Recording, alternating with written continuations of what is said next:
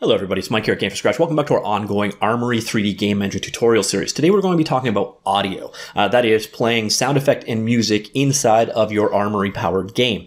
Without further ado, let's jump right in. Now, as always, there is an ongoing uh, tutorial series available uh, here on Dev Game. It's the sound and music chapter we're going to go through today. So again, I will link that down below. Uh, there's a full series here and there should be some new text tutorials coming online shortly. For every text tutorial, there is a corresponding video tutorial like the one you're watching right now.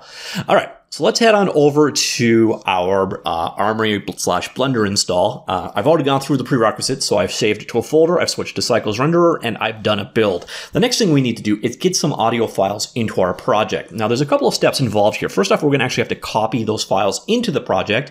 So open up your project folder that's available here under Armory Project, and then you'll find it right there. Click the project folder and it will open up Explorer or Finder or your local file system viewer with the corresponding directory open. Now what you want to do, so you can see here I've already done a build once, uh, but you want to add a folder to this directory. So just create a new folder in it, and the folder is called bundled.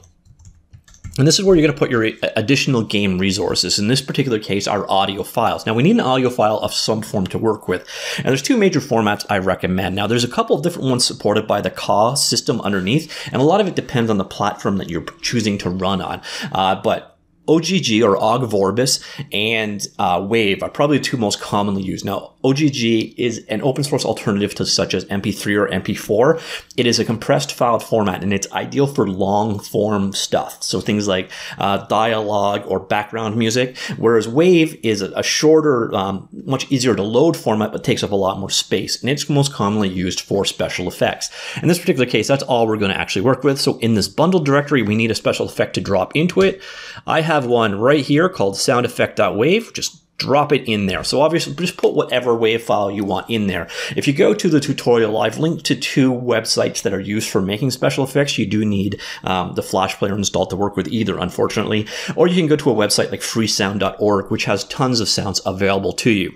All right, with that done, we now have it bundled in and we can approach this one of two ways. We can either add an armory trait and play this with Haxe, which is what we'll do first. And then of course we'll show the node-based way of doing things as well. So let's start off with the Haxe way. So with something selected, go on in here and basically we're just going to attach an armory trait to something. It could be an empty node in the scene. I'm going to stick with the default cube. So create a new trait, create Haxe script, create a new script like so. So now we have a new trait set up. I'll do a quick save right there just in case. And now we'll edit our script. And of course, this will open up Kode Studio. Let it do its quick initialization so that we've got the, um, the code completion stuff done. And almost there. All right, we are done and off to the races. Now let me just get some more room so you can see this a bit better.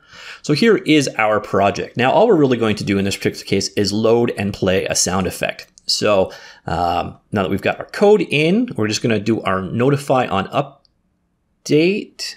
That doesn't make sense.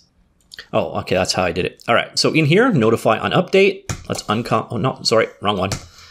On update. So let's uncomment that guy and all we're going to do is if the player presses the S key, we're going to go ahead and play our sound effect. Pretty straightforward. So if iron.system.input, so we already covered this in the input category. So head on back over there if you need an update of what we're doing. We're just going to check to see if the S key is currently down. Like so. And if it is, oops, wrong one we are going to run the following code. Iron data. So we're getting we're accessing the data from our game using iron data. I think that's the first time we've accessed data so far. There is a class here called data, and you can use it for getting all the various kinds of data from your uh, game. So a lot of these you can see are uh, Blender types, etc. But in this case, we're actually doing get sound. We get it by name, uh, I think I called it sound effect.wave, but I'm going to make sure so that we don't have to revisit this later. Yep, sound effect.wave. So just put the file name in there like so. And then we're going to, the, the second parameter we pass here is actually a callback function that's going to be called when this is done loading. So once our sound effect is available and working, we call this function. So function, and then it takes a type of sound. It's a kha.sound. So And then in the event that we are done loading our sound, we're going to go ahead and play it. So playing the sound is as simple as iron.system.audio. So you're seeing iron is the interface between game data as well as game interfaces, code logic stuff. Um, and then once we've got audio, we'll go ahead and do a play and we'll play our sound like so. So this really should be all that is required. Uh, I called it sound. Why are you not liking that? Oh, I think I got one too many parentheses here. All right, so we're inside our callback function. We're end of it. Yeah, we got too many parentheses going on here. No, no, that's right. If there, click there. So we need to close off our second function. So our closed off function there, close off our function there, semicolon. All right. So that basically, all we've done here is we hit the S key, we go and get it, get a reference to our sound file, and then when our sound file is done loading, this inline function will be called. Uh, what we do here is pass in the sound file now that it's loaded, and then we simply play it calling audio.play. Pretty straightforward. Let's go ahead and see if this actually worked. Hit F5 and do our build. And here we go. So our code is loaded. Here we are. And if I hit S, I don't know if my sound is not turned up. Let me check.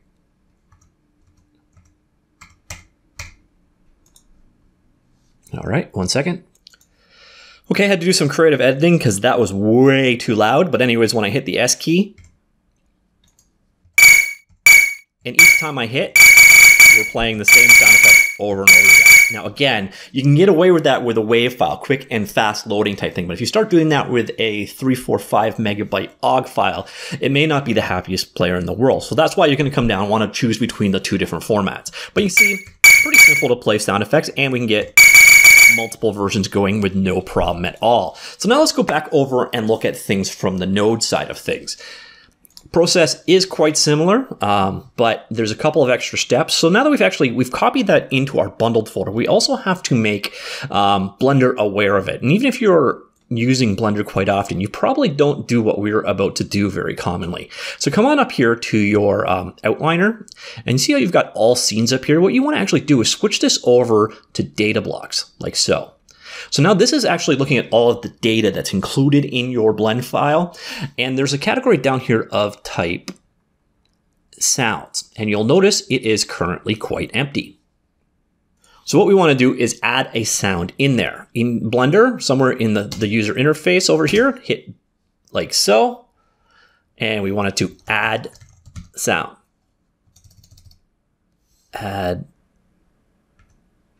sound? I thought it was. One second. Oops, my bad. Open sound. Like so. And we go ahead, click that command. And now you go into your bundled folder and click sound effect.wave. And there you will now see you have it bundled in and included right there. Now with this guy selected, however, we want to expand into it and we want to toggle fake user on. That way it gets um, included for sure in part of our armory build.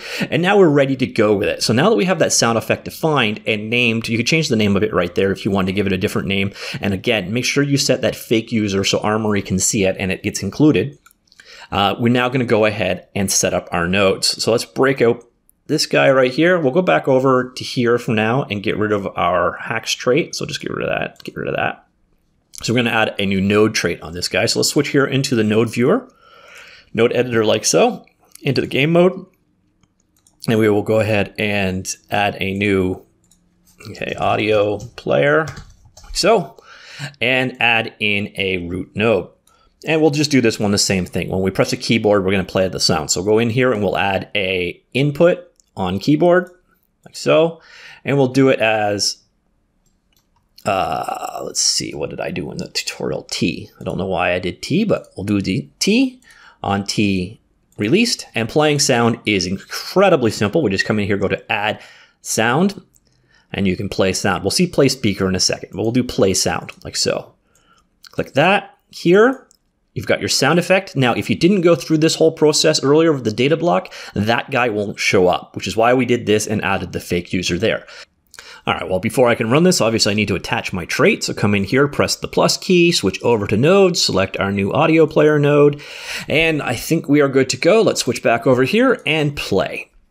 So, da da da, there we go. Hit the T key, and there is our sound effect. Now, pretty straightforward, pretty easy stuff. Um, now let's actually just go through and show you how to use that speaker option. Let's switch data blocks back to all scene right here. I'm to create a new object in our 3D scene. So we're actually going to get rid of all of this. So hit A twice and then go ahead and delete it. So with our guy selected right here, let's go ahead and go add. And then you'll notice there's an option up here for speaker. We can actually put the, the sound into the 3D world. So we could add it right there in that location. And this enables you to put your sound effects directly into the 3D scene. So what we can do now is go into the properties with the speaker selected, and you'll notice we have a couple of options here. Going back to the very top. Okay, where did it go? Properties, da, da, da, da. Oh, sorry, I don't want properties. I want to go to the speaker icon right there. And then we're just going to go ahead, drop down this guy and select our sound effect. And that sound effect is going to be hooked up to the speaker. And you see you've got various different parameters here. For some reason, maximum is disabled. Uh, so basically you can't control the fall off of your sound, but it allows you to place your sound in 3D space. And then to play this guy is quite simple. So we'll just go ahead back here. We'll go straight again. We'll do it with the um, keyboard again. So on keyboard, I'll go over space, that's fine. So we'll do on release space. And then when you want to play a speaker instead, you just go add and then sound play speaker. So, and then the only property you have left is basically you select your speaker from the scene and then running that. So let this load up and then spacebar plays the sound. Now, I'm not sure how advanced the underlying sound technology is. Cause um, music, multi, like cross-platform music functionality is pretty limited. So I don't know how well you can actually integrate this. I think this is more of a feature future functionality. So I don't know that you get a lot more out of it from being a speaker as opposed to playing it the other way around. But I think in the future you might. So hopefully in the future we get some more 3D integration, 3D sound. But as I said, the Kha functionality for playing sound is very, very, very primitive. So if advanced functionality is added in the future, I will definitely revisit this topic. And that's it for now. Pretty straightforward one. So we saw how to play sound using both setups or using the speaker setting. Uh, the thing that's probably going to trip the most people up is getting your sound data in. So once you've got that done, you're good to go. Quick recap. Do remember you've got to create that bundled folder inside of your project, add your sound files to it, WAV, OGG, Vorbis, or possibly MP4 on certain platforms. Um, and then, you know, we saw how to do playback in code and in nodes. It's both quite simple. So uh, that's it for now. I will talk to you all later. Goodbye.